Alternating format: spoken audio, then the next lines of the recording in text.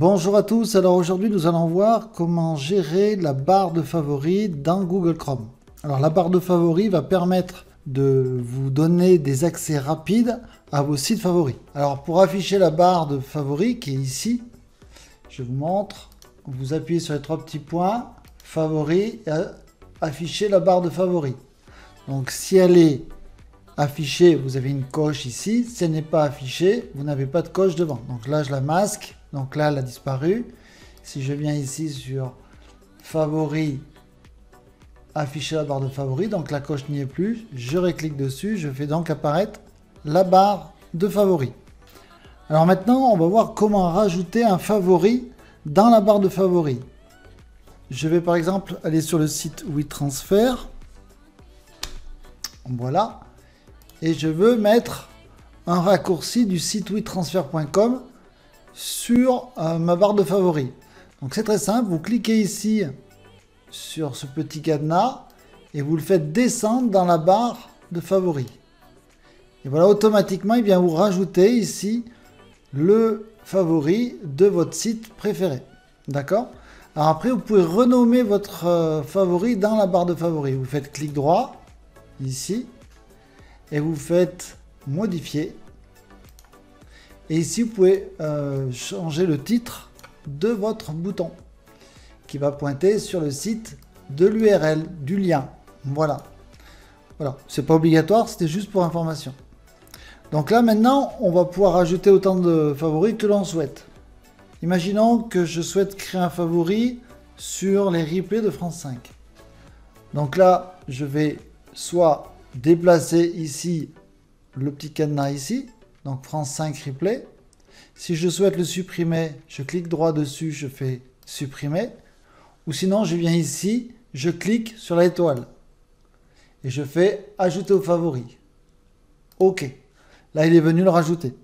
Alors, vous faites ça, ainsi de suite, pour tous vos favoris. Au bout d'un moment, si vous avez beaucoup de favoris et que vous remplissez toute la barre de favoris, il viendra vous mettre ici une double flèche pour pouvoir afficher la suite de vos favoris. Je vais vous montrer maintenant comment exporter la barre de favoris pour la sauvegarder. Comme ça, avant un formatage par exemple de disque, on pourrait euh, la sauvegarder. Et après, je vais vous montrer comment l'importer. Donc je viens ici, je fais favoris et ici je viens dans gestionnaire de favoris. Donc ici on retrouve notre barre de favoris et nos deux favoris. Sachez qu'avec le gestionnaire de favoris, vous pouvez aussi rechercher parmi vos nombreux favoris un favori la barre rechercher. Et ici, vous voyez, il y a trois petits points. Nous sommes donc dans le gestionnaire des favoris. Donc trois petits points. Et ici, on peut ajouter un favori, trier par nom, mais on peut exporter les favoris. Donc là, je vais cliquer sur exporter les favoris et je vais pouvoir les sauvegarder à un endroit sur mon disque dur. Il suffira de faire enregistrer. Si je souhaite importer une barre de favoris que j'ai donc exportée, donc là, je vais ici et je fais importer les favoris et je vais chercher mon fichier que j'ai sauvegardé lors de l'export des favoris. Ici, dans gestionnaire de favoris, vous pouvez aussi supprimer certains favoris. Donc, vous faites un clic droit et ici, vous faites supprimer. Donc là, je supprime le replay de France 5, supprimer. Et ici, il a disparu de ma barre. Donc, pour résumer si vous voulez ajouter un nouveau favori, vous faites glisser le cadenas ici, ou bien vous cliquez sur la petite étoile. Si vous souhaitez modifier le libellé de votre bouton favori ici, faites clic droit sur votre bouton et vous faites modifier. Et là, vous pouvez mettre France 2 replay. Voilà, par exemple. Et là, au lieu de France 2 replay direct, maintenant j'ai France 2 replay, je fais enregistrer et ça modifie le texte de mon bouton.